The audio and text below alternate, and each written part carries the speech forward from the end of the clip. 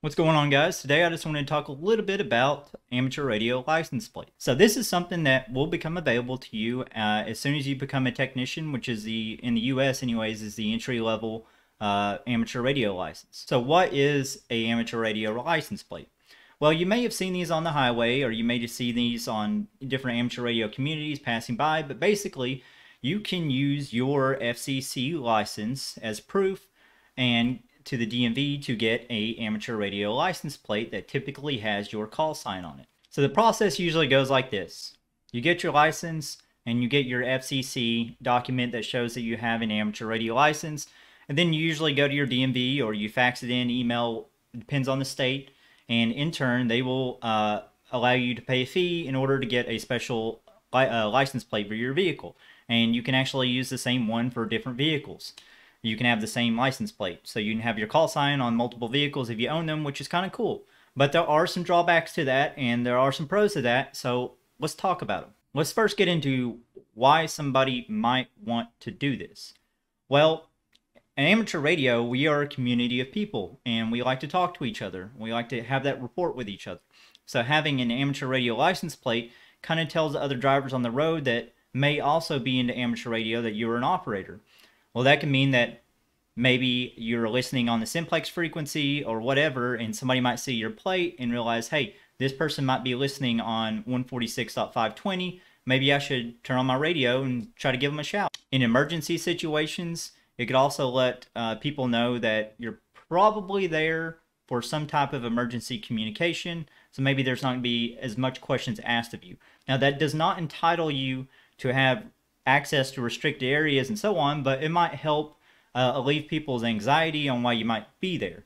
Another thing that it might do is kind of explain what why you have an antenna on top of your car. So a lot of us amateur radio operators, obviously, we have some type of rig inside of our car. Some people have two meters and some people have giant HF antennas. And a lot of people might look at that and question, what is this guy doing? Well, if they see your license plate and see that you're affiliated with amateur radio somehow, it might uh, let them know or give them an idea as to why you have a giant antenna on top of your car. And most of us don't really care anyways, but that's there. And really, it's just a community to let other people on the on the road know that you're a radio operator. Uh, if there's other radio operators, and it's kind of cool. I mean, the license plate varies by state, so they all look a little different, and I'll show some up on the screen here. Either way, I'm not quite sure where they're going to be, but that's kind of the gist of what they're going to look like. And like I said, they do vary by state, but in turn, let's talk about why you might not want one. So one drawback to having your amateur radio call sign on your license plate is the fact that anybody that has knowledge of the FCC database can quickly punch in your call sign and determine where you live. Now, I, for one, don't really care about this as much, but I know there are a lot of people out there that have their concerns over this. So let me explain my reasoning. If you are a very aggressive driver and you're constantly cutting people off and you're just making a lot of people mad in traffic, and you just so happen to make someone mad that knows how to that knows to recognize your call sign on your license plate and also know how to look it up, well, you could very well give them the location of your home address. Now, that is the biggest reason why a lot of people don't get their license plate.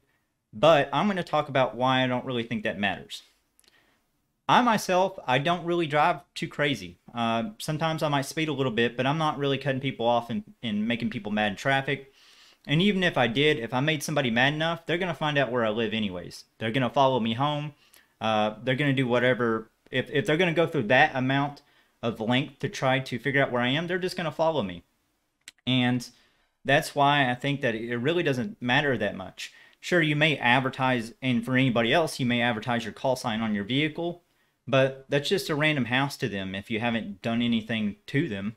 Yet that's just a random place. I mean, anybody can say, okay, well, there's a house here, so somebody must live here. Well, there has to be some type of intent for or wrongdoing and that's another thing that some people might bring into question is you're advertising to people that you're an amateur radio operator and that you potentially have expensive equipment in the car. Well, thieves, sure, there are thieves that that steal for opportunity, But typically, your average thief is not going to have the knowledge and be looking for people in traffic with an amateur radio call sign on the back of your vehicle and then target you specifically. They're going to look for a car that's unlocked or that has its windows down in the parking lot or or something like that to be able to, to target that vehicle. I don't generally, and I could be wrong here, there's probably going to be somebody that disagrees with me, but I don't think that thieves go out of their way to look for amateur radio call signs on vehicles to determine which vehicles to steal from because they think that they have special equipment in there. The antennas, maybe. Maybe if you leave your, your car in a parking lot and you have a giant nice antenna on top of your car, maybe they might try to steal that. But I don't think that's a direct cause of your amateur radio license being on your vehicle. Now, I could be very wrong in my assumptions here, and I would invite anybody to let me know any type of bad stories that they've had with it down below so that we have a, a nice, diverse conversation here. But in the end, I think it's just a, a really cool way to show your support for the hobby and both advertise the hobby to other people because I've seen a lot of different posts on the internet uh, on different Reddits that like like no stupid questions and stuff like that where people take a picture of these these cars with antennas or with a license plate and they ask wait what's the deal with this license plate what is this and I've seen multiple threads where uh, they ask these genuine questions and they get answered, and the individuals are actually interested in how this individual got it. And it could potentially lead to other people uh, being invited into the hobby that way. Whether it's whether it's for you or not is ultimately up to you. If it's if it's worth those risks of potentially uh, showing people that you might have expensive equipment in your car or you are really just a private person and you absolutely don't want anybody to be able to tell where you live uh, from the license plate on your car, well, then it's probably not the option for you. But in the end, it's it's left up to the individual. So if if you're willing to take that that risk, or if you you know, and I'm sure there's going to be a debate whether it is a risk or it's not a risk. But if if you're willing to do that, then the option's there for you.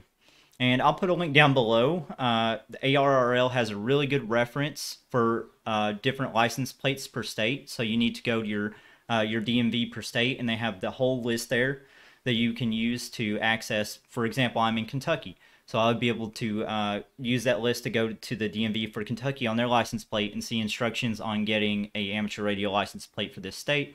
And they also vary by state. Here in Kentucky, ours looks kind of rubbish. All it says is amateur radio and then it has your call sign. There's no special little towers or pictures or radios or anything like that. Some states have really cool vanity plates, and if I did live in one of those states, I probably would have had one by now. Uh, another thing to consider too is that there's a fee for this. And I've saw online it varies anywhere between 10 to $50 and it could be more, it could be less, but that's typically what I see for the prices for these license plates.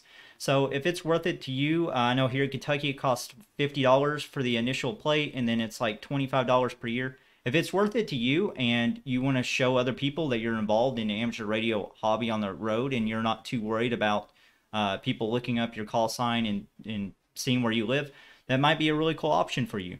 But like I said, it's ultimately up to you to decide what you want to do.